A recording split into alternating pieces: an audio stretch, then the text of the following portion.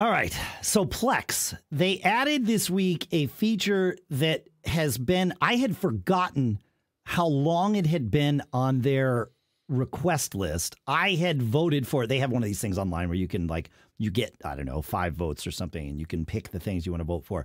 They added a watch list. And I, it's amazing to me that this has never existed before with Plex because it seems like such an obvious thing. Every other every streaming service has it where you say these are the things that I want to watch. Yes, I have all this stuff in my library, but I want to watch, you know, this movie next or I want to watch this series next or something like that. So they added this watch list. It's amazing. They they call the whole suite of features Plex Discover. Uh I've used it.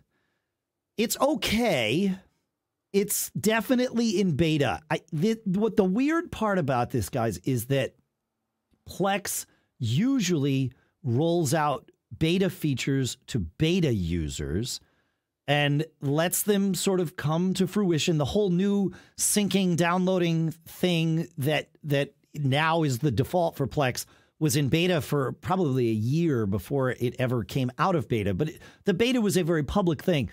I think with this, they wanted to make a splash. They saw this as a big feature. I mean, I see it as filling a huge hole, but whatever, potato, potato. They decided to do this. And so the beta is in the public releases of Plex. It is not ready for prime time yet, in my experience. Uh, it has gotten better since the day it was released. When it was released, I added a bunch of shows to my uh, Plex library or to my watch list. They were already in my Plex library. And what's cool is it's it, the reason they call it Plex Discover is because you can add things that are not in your Plex library. You can tell it, I have Netflix and Apple TV Plus and Hulu. And then you can add shows that you don't have the downloads for.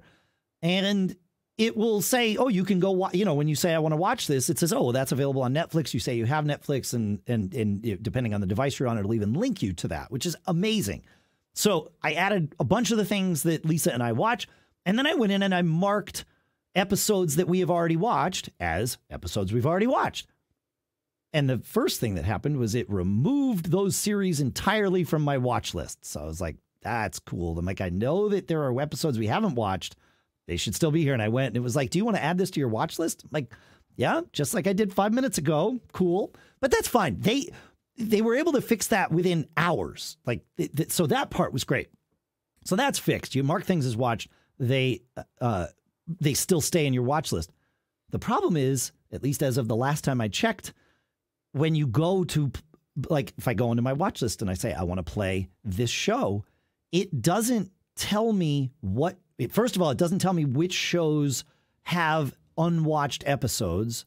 So I have no idea whether there's new content for me or not. My watch list just contains everything, which is better than it containing nothing. I, I get this. That's improvement, but not the kind of usefulness that we want. They are working on this. So I think, you know, we have to treat this feature as beta because they call it beta, but it truly is like feature incomplete, is what I will say. So maybe even alpha, right? It, it is not to the point of what I would call MVP, minimum viable product, right? I think you've got to track and and surface the status of whether things are watched or unwatched, especially when you start comparing it to what Netflix does or what Apple TV does with its Watch Next thing and all of that. But uh, it's great to see this. So I'm I'm stoked about it. I'm in fact really excited. Just want to set everyone's expectations. Like it's it, you're not going to turn it on and go yay, or maybe you will. Maybe it works perfectly for whatever you folks want to do. But I, I, it's fantastic that they've finally started this. So excited about it.